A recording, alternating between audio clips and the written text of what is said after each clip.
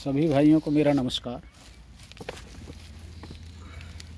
आज हम बात कर रहे हैं, जैसा आप सब लोग कभी जो भी कैचुआ ख़रीदने वाले लोग हैं तो मैं आपको एक थोड़ा सा आइडिया देना चाह रहा हूँ कि आपको जो कैचुआ का रेट है, जनरली क्या होता है, कोई सौ रुपये किलो दे रहा है, कोई दो सौ रुपये किलो दे रहा है, कोई पाँच सौ रुपये किलो दे रहा है तो इसको कैसे जज करें कि आपको कैचुआ कहाँ से लेना चाहिए? अब मैं ये दिखाना चाह रहा हूँ, जैसे ये कैचुआ आपको दिखाई दे रहे हैं थोड़े से, ये मात्रा में, ये जो दिख रहे हैं तो ये सौ रुपये किलो से ज़्यादा का नहीं है। अब ये वाला जो आपको दिख रहा है, अगर आपको गुच्छे में कैचुआ दिखता है तो वो आपका ऐसे जिस तरह ये अभी दिख रहे हैं, कैचुआ मात्रा ज़्यादा दिख रही है, ये दो सौ रुपये किलो आप इसको समझ सकते हो। और अगर इसको छांट के आप ले रहे हो तो इसको आपको फिर तीन सौ रुपये किलो, पाँच सौ रुपये किलो, उस रेंज में आप इसको, जैसा भी किसी कहीं से मिलते हैं, उस हिसाब से आप इसको ले सकते हो। पर जनरली इस चीज़ का बहुत ज़्यादा ध्यान रखें और बात करके लें कि भाई आपका कैचुआ जो है कितना निकलेगा एक किलो के अंदर।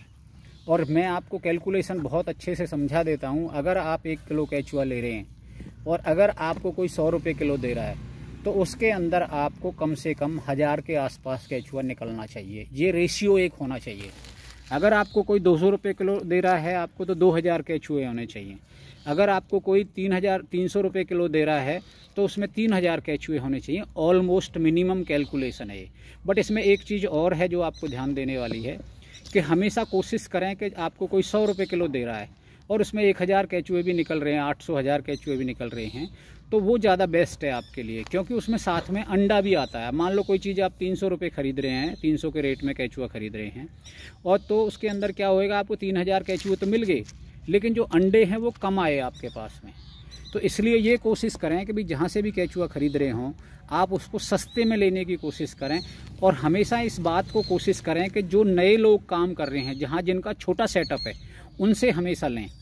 क्योंकि मैंने ये देखा है, जब भी आप बड़े किसी सेटअप वाले से ले रहे हो, ख़रीद रहे हो आप, मैंने कई लोगों से बात करके देख ली जिनका बड़ा बड़ा सेटअप है, वो हमेशा आपको महँगा कैचुआ देते हैं। महँगा कैचुए से मेरा मतलब वो आपको, उसी कैचुए को जो लोग दूसरा सौ रुपये किलो में आपको दे रहे होंगे वो लोग तीन तीन सौ रुपये किलो में दे रहे हैं। और ये मैंने सारा आपको, समझ लीजिए दिल्ली एनसीआर सारा स्टडी कर लिया है। दिल्ली एनसीआर स्टडी करके मैं आपको ये बात बता रहा हूँ। कि अगर आप कहीं से भी बड़ा जिसका सेटअप है आदमी का, उससे कैचुआ ख़रीद रहे हैं तो वो सौ रुपये किलो वाले को ही तीन सौ रुपये किलो के हिसाब से बेच रहे हैं।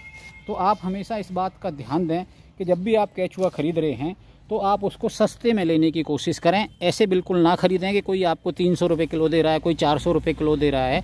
तो उसमें कोई विशेषता, कोई अलग विशेष बात नहीं है उसके अंदर। अब देखो, मैं ये कैचुआ दिखा रहा हूँ आपको जीरा।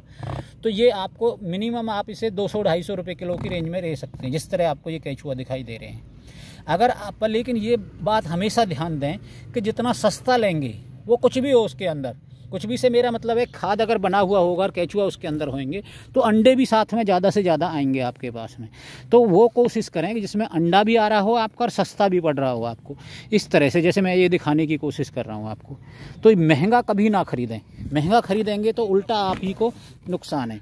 तो ये चीज़ का आप हमेशा से कैचुआ ख़रीदते समय ध्यान दें। तो ये आप हाँ तो मैं आशा कर रहा हूँ भाई लोगों, आप लोगों को ये चीज़ सब समझ आ गई होगी।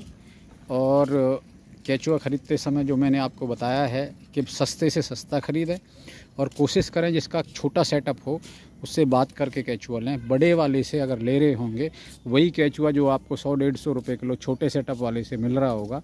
बड़े वाले क्योंकि उनका इजीली बिक जाता है तो वो हमेशा महँगा देते हैं। और इसका मैं उन लोगों का नाम नहीं लेना चाह रहा बट ये जो मेरठ से दो तीन लोग हैं, ये ख़ास तौर से महँगा कैचुआ बेच रहे हैं। तो इस चीज़ का विशेषतः ध्यान दें। आपको आसपास दूसरी जगह सस्ता मिल जाएगा। पर दिल्ली एनसीआर में जो मेरठ का है या गाज़ियाबाद का है, ये लोग हमेशा महँगा बेच रहे हैं।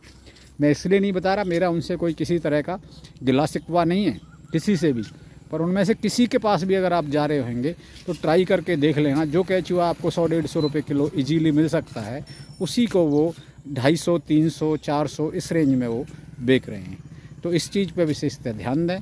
तो सभी भाइयों को हो सकता है ये चीज़ मेरी समझ आ गई होगी और कुछ लोगों को हो सकता है ये चीज़ बुरी लगे। पर मेरे को भाई सब माफ़ करना जिन लोगों को ये बुरी लग रही हो और गलत लग रही हो और जो लोग ख़रीदना चाह रहे हैं और सेटअप अपना बनाना चाह रहे हैं, वो इस बात का ध्यान दें और इस बात का भी ध्यान दें हमेशा कि जब भी कैचुआ ख़रीद रहे हों, लोग कंसल्टेंसी के नाम पे महँगा रेट देते हैं कि मैं आपको कंसल्टेंसी भी दे दूँगा, मैं आपको आके सेटअप भी करा दूँगा। तो उसके हिसाब से उनसे कंसल्टेंसी के नाम पे महँगा कैचुआ ना ख़रीदें। इसमें कोई कंसल्टेंसी नहीं होती फिर सिर्फ़ गोबर को दस पंद्रह दिन आपको ठंडा करना होता है। गोबर किसी भी, ये जो पीरियड बताते हैं, कोई आपको कहेगा ताज़ा गोबर होए, दस दिन पुराना होए, कोई कहता पंद्रह दिन पुराना होए, कोई कहता बीस दिन पुराना होए। भाई आप महीने, दो महीने, तीन महीने, एक दिन पुराना, दस दिन पुराना, पचास दिन पुराना, सौ दिन पुराना, दो सौ दिन पुराना, खाद आप कोई भी ले लो, जो भी खाद कोशिश करें पर ये आपका 10-20 दिन के बाद में और आपका जो है दो तीन महीने का हो तो ज़्यादा अच्छा है, पर अगर आप इससे भी ज़्यादा का ले रहे होंगे तो कोई ऐसा लॉस नहीं होएगा आपको।